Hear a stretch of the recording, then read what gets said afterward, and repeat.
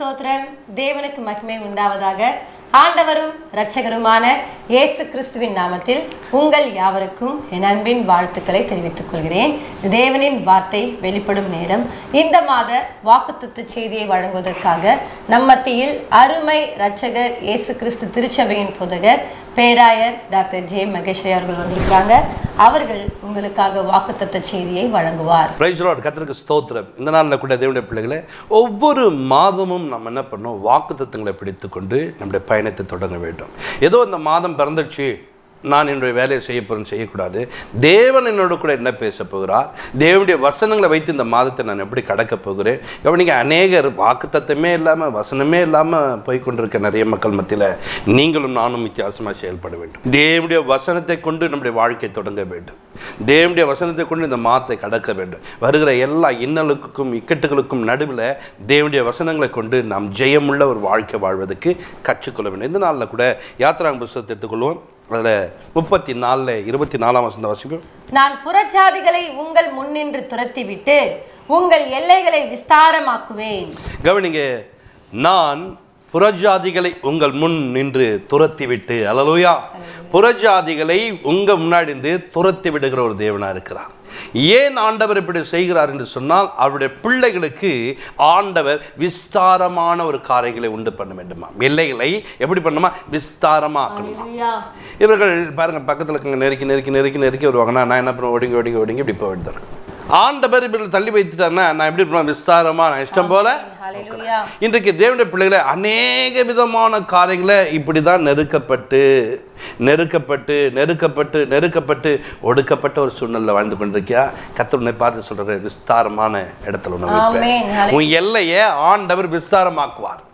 நீ எந்தெந்த காரியங்களை இன்றைக்கு நீ குறைப்பட்டு காணப்பட்டு நான் நெருக்கப்பட்டிருக்கிறேன் என் சூழ்நிலை அப்படி மாறிடுச்சு நீ நெருக்கப்பட்டிருக்கியா உன்னை கத்தர் விஸ்தாரமாய் மாற்றுவா.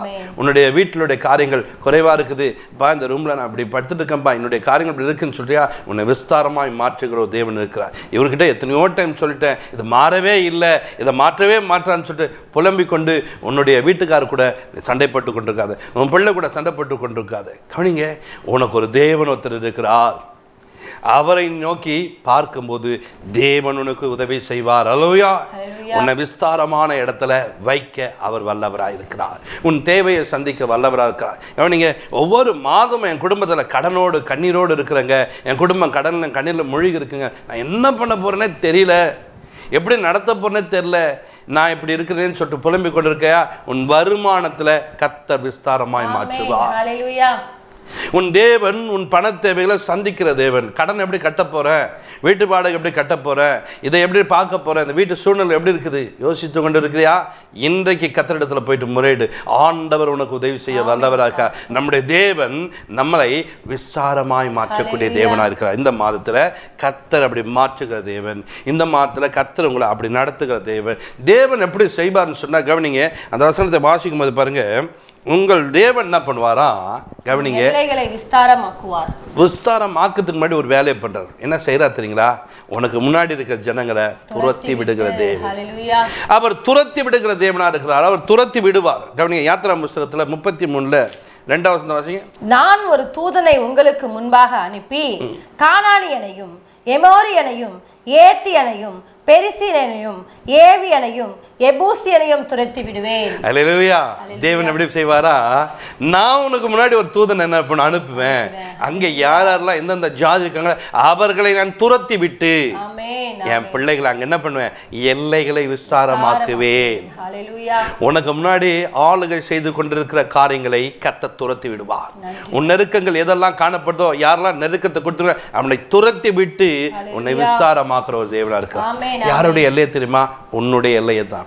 இந்த மாதத்துல இந்த வாக்குத்தத்துக்காக எங்க கொண்டிருக்க ஜனமே உன் எல்லையை கத்தர் விஸ்தாரமாக்குற தேவன். உன் எல்லையில கத்தர் உனக்கு ஆசுவாத்தை கொடுக்கிற தேவன். உன் எல்லையில உன் தேவையை சந்திக்கிற தேவன். அவர் உனக்கு துணையா இருப்பார். அவருடைய வார்த்தை பிடித்துக்கொள். அவருடைய வார்த்தை பிடித்துக்கொண்டு தேவனோடு கூட நெருங்கிப்பார். தேவன் உன்னை ஆசீர்வதிக்க வல்லவராக்க இன்றைக்கு நெருக்கப்பட்ட ஒரு சூழ்நிலை இருக்கம்பா என் எல்லையை தேவன் தாமே விஸ்தாரமாக்க வேண்டும் சொல்லிட்டு தேவனிடத்தில் நோக்கிப்பார். தேவன் நடத்துவார். நீங்கள் யாப்பேஸ் குறித்து பார்க்கணும். யாப்பேஸ் பாருங்கள் தன்னுடைய எல்லை குறுகி போயிடுச்சு. இப்போ அவருக்கு வளர்ச்சி இல்லாமல் போயிட்டாரு எல்லா பக்கமும் நெருக்கப்பட்ட ஒரு என்ன பண்ணுறாரு இஸ்ரவேலின் தேவனிடத்தில் போகிறார். தேவனை நோக்கி பார்க்கிறார். விண்ணப்பம் பண்ணுகிறார். கண்டிப்பாக ஒன்று நாலாமத்தில் நாலு பத்து வாசிங்க. யாபேஸ் இஸ்ரவேலின் தேவனை நோக்கி தேவரீர் என்னை ஆசீர்வதித்து என் எல்லையை பெரிதாக்கி உமது கரம் என்னோடு இருந்து தீங்கு என்னை துக்கப்படுத்தாதபடிக்கு அதற்கு என்னை விலக்கி காத்தருளும் என்று வேண்டிக் கொண்டான். அவன் வேண்டிக் கொண்டதை தேவன் அருளினார். அல்லேலூயா அவன் வேண்டிக் கொண்டதை தேவன் அருளினாராம் இந்த யாப்பேசு இஸ்ரவேலின் தேவனிடத்தில் போயிட்டு அவரை நோக்கி பார்த்து எனக்கு ஒரு தேவன் இருக்கிறார்.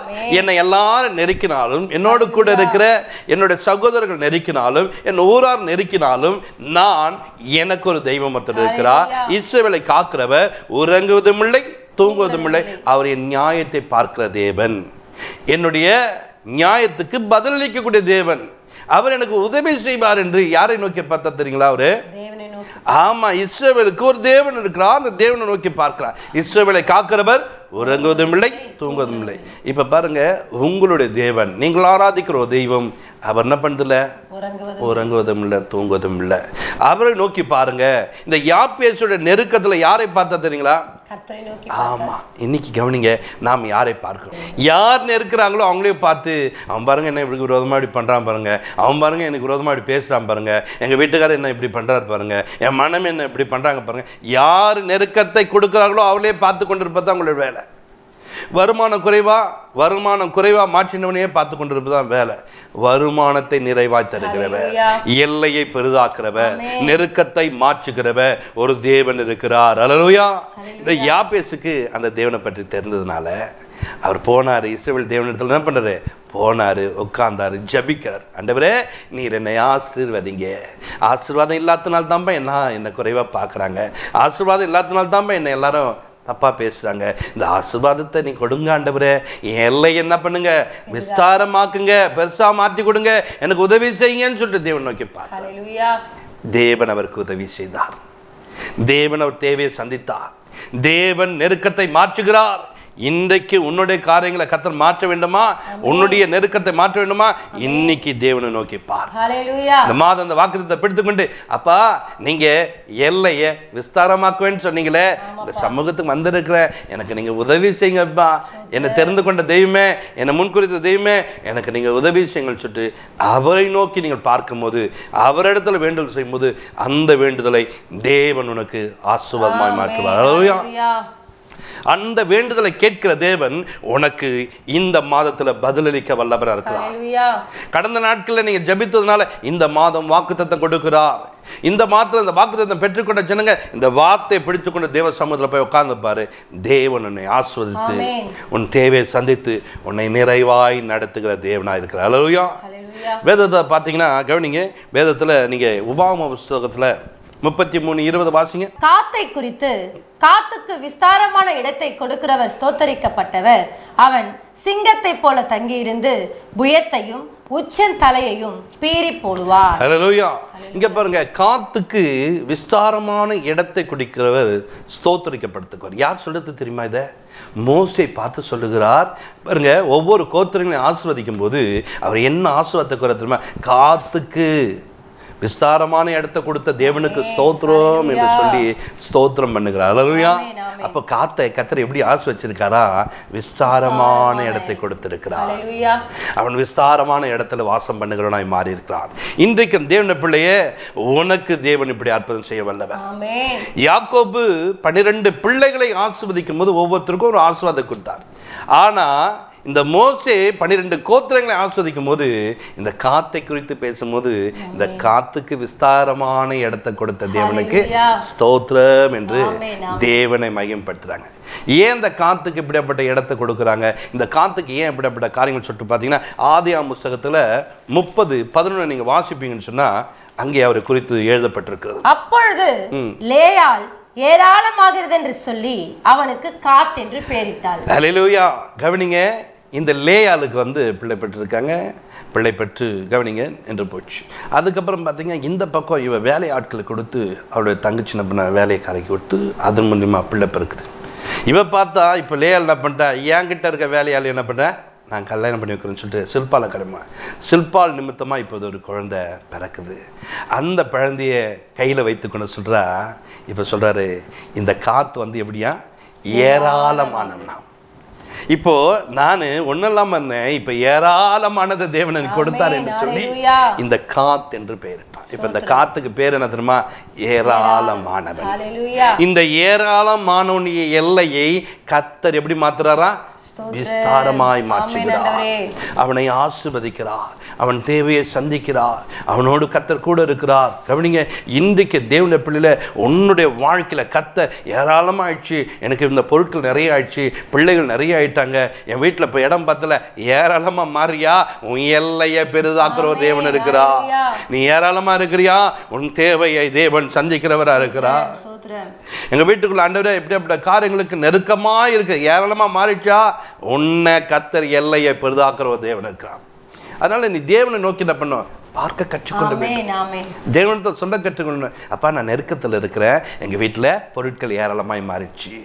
நாங்கள் ஒருத்தர் ரெண்டு பேர் தான் இருந்தோம். இப்போ நாலு பேர் ஆகிட்டோம் அஞ்சு பேர் ஆகிட்டோம் ஆறு பேர் ஆகிட்டோம் நாங்கள் நிறைய ஆயிட்டோம்ப்பா எங்களை கொஞ்சம் நீங்கள் என்ன பண்ணுங்க? ஏராளமாக இருக்க எங்களுக்கு.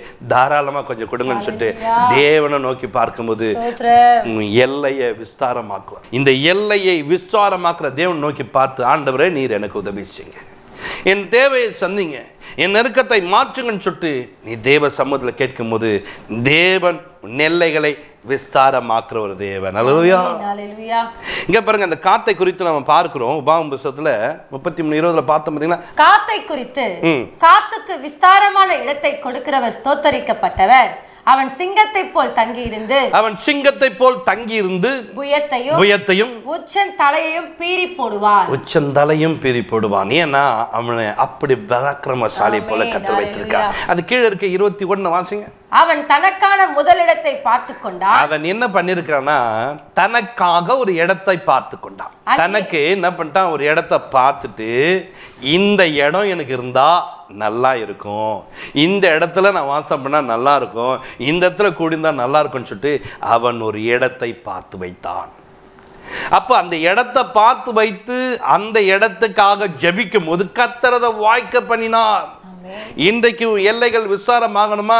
அப்பா இந்த இடத்துல இப்படியாப்பட்ட ஒரு இடம் கிடைச்சா எனக்கு நல்லா இருக்கான்ற எனக்கு நீங்க உதவி செய்யுங்கன்னு கேட்கும் போது தேவன் அதுக்கான வழி வாசலை கத்த திறந்து கொடுப்பார். உன் எல்லையை விசாரமாக்குற தேவன். பாருங்க வரும் வழியில எல்லாம் பண்ணுவாங்க. இவன் பார்த்தா இந்த இடம் நல்லா இருக்கும். யோதானுக்கு அப்புறமேட்டு நான் போக வேண்டியதில்லை. இந்த பக்கம் தான் நல்லா இருக்கும். இது ஒரு புல்வெளியான ஒரு இடம் இருக்கு. இந்த இடத்துல இருந்தா எனக்கு ஆசுவாதமா இருக்கும் என்று பார்த்து அந்த இடத்தை கேட்கும் போது அந்த இடத்தை தேவன் கொடுக்க செய்கிறார். அல்லலுயா. பாருங்க ஒரு இடத்தை பார்த்து வைத்து அவர் கேட்கிறார். அது கிடைக்கிறது. இன்றைக்கு தேவன பிள்ளையில உன் வாழ்க்கையில எல்லை குறுகி இருக்குதா? இன்றைக்கு ஆண்டஇடத்துல கேளுங்க. ஆண்டவரே என் எல்லையை என்ன பண்ணுங்க? விஸ்தாரமாக்க மாட்டோன்னு கேளுங்க. தேவன் விஸ்தாரமாக்குற தேவன். அதுல இருபத்தி ஆறாம் வசந்த வாசிக்கும் போது பாருங்க. எங்கள் பிள்ளைகளும் எங்கள் மனைவிகளும் எங்கள் ஆடு மாடு முதலான எங்களுடைய எல்லா மிருக ஜீவன்களோடும் இங்கே கீழையாத்தின் பட்டணங்களில் இருப்பார்கள். பாருங்க இவரா என்ன பண்றாரு எங்க பிள்ளைகள் எங்கள் ஆடு மாடுகள் எங்களுக்கு உண்டாந்து கீழையாட்டினுடைய பட்டணத்துல இருப்போம். இந்த இடம் எங்களுக்கு கொடுங்கன்னு சொல்லிட்டு ஒரு இடத்தை பார்த்து வைத்து கேட்டதுனால அந்த இடம் கிடைக்கிறது. ஹalleluya அந்த இடத்தை கொடுத்தது மாத்திரம் இல்ல எல்லையை விஸ்தாரம். ஆக்கின தேவனுக்கு ஸ்தோத்திரம் என்று மோசே சொல்லுகிறார். காத்துக்கு எல்லையை கொடுத்த தேவனுக்கு காத்துக்கு உதவி செய்த தேவனுக்கு ஸ்தோத்திரம் என்று சொல்ல இந்த நாளில் கூட தேவ பிள்ளைகளே நீங்கள் உங்களுக்குரிய காரியங்களை உங்கள் தேவனிடத்தில் கேட்கும்போது உங்கள் தேவன் உங்களை ஆசிர்வதிப்பார் உங்கள் தேவன் உங்களை உயர்த்துவார் உங்கள் தேவன் உங்கள் தேவையை சந்திப்பார். அப்படி நடத்துகிற நல்ல தேவனை நோக்கி பாருங்க. இந்த மாத்துல கத்திர உங்களை எல்லைகளை ஆசிர்வதிக்கிற தேவன். ஆமென். ஜெபிப்போம். பரலோக பிதாவே உமக்கு நன்றி செலுத்துகிறோம்.